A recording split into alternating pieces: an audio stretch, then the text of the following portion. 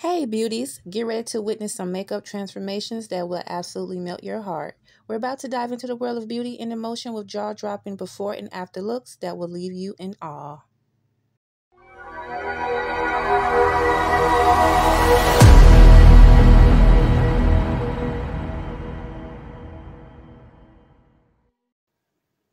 Welcome back to my channel where we celebrate the power of makeup to not only enhance our beauty but also uplift the soul. Today we're delivering into the realm of heartwarming makeup transformations that have the incredible ability to evoke deep emotions and touch the core of our being. Let's face it, we all have that insecurities and challenges, especially with my eyebrows.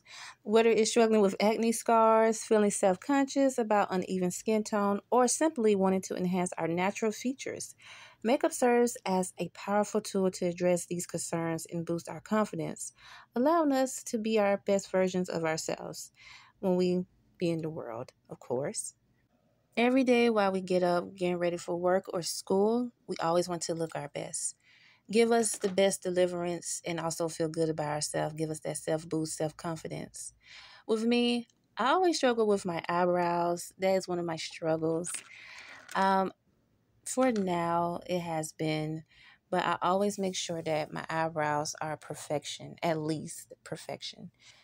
I know they say that our eyebrows are our sisters, but in part of my makeup routine, my brows have to be A1. So, as you guys can see, I am using my Kiss Professional Line Precision um, Auto Twist pencil. is really good, and the color is called Brunette. This is one of my favorite um, eyebrow pencils that I love to use. And I'm applying my concealer Cappuccino and Warm Coconut. I'm just going around. As you guys know, the bases that I use for doing my eyebrows, of course. But I'm going to let you guys watch a little bit of this and we'll be right back.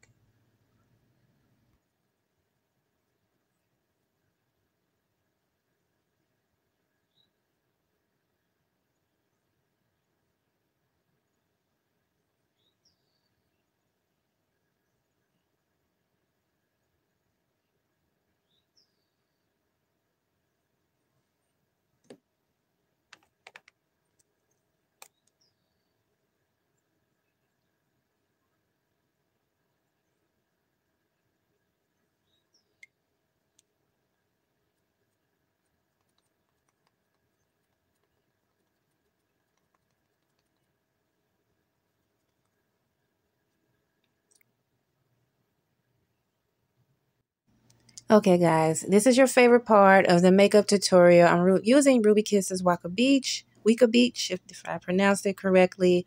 I'm using that light blue that's on like the right corner on the second row. I'm going to blend that with my brush. So I'm just blending in a circular motion towards the inner corner of my eye.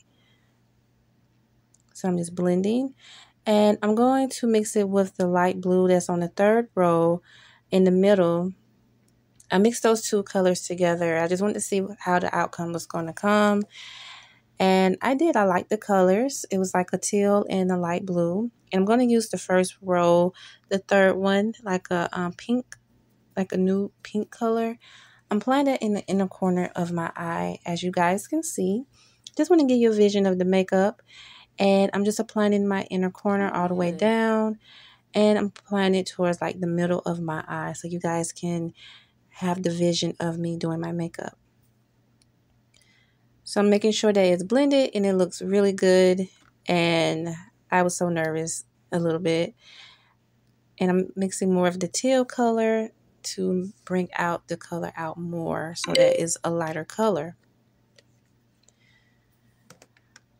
So I am done with that so far. So now I'm going to apply the Kiss Face Primer, um, which you guys should buy. It is the Hydration um, Cool Face Primer.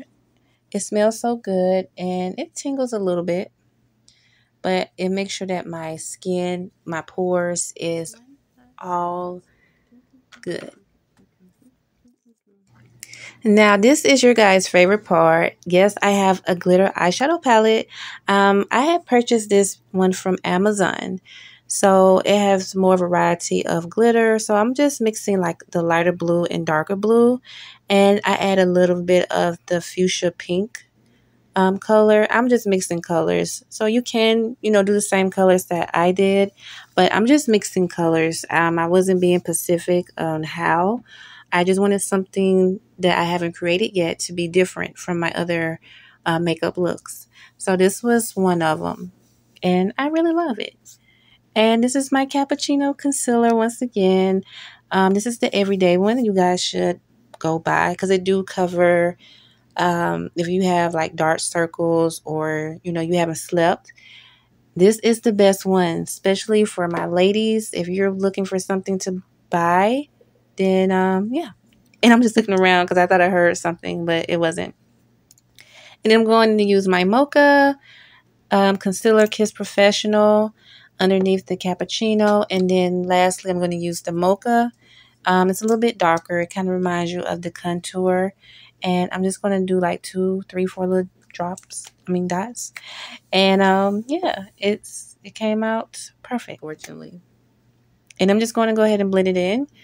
And as you guys see, it looks like my skin tone. It don't look, you know, cakey or too much. You know, I always want makeup to look like my skin, and you can't tell it.